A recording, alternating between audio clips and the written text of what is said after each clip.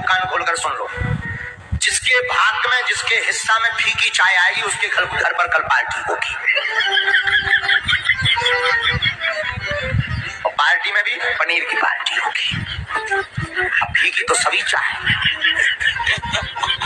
सबने पी, लेकिन पार्टी कौन दी? क्योंकि वो भी गुजराती। उन्होंने भी हद कर दी। एक तो बोला, इतनी मीठी है कि थोड़ा पानी डाला। तो इतनी चाय मीठी आज तक पी नहीं। चंगीलाल की मुन्नी बाई भीतर से बोले, वाह, तीसरे ने तो हद कर दी। बोले, अब तो हमसे ये पी नहीं जा रही, इतनी मीठी है चौथे ने तो रिकॉर्ड तोड़ दिया। बोले, लगता है भाभी जी ने दो किलो इकट्ठी डाली चाय भी पिट गई, कप भी खाली हो गए।